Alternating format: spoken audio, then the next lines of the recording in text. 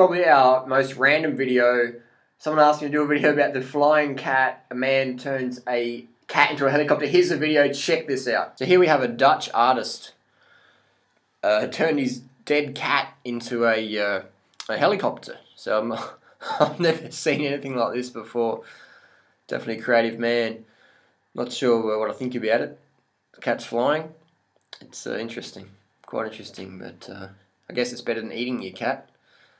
So yeah, it's quite a random, quite a random, random YouTube request. I don't even know what to say about this one. There's a cat flying in the sky. Oh man, that's crazy. That is crazy. Anyways, post your comments and questions down below. What do you think about this flying cat?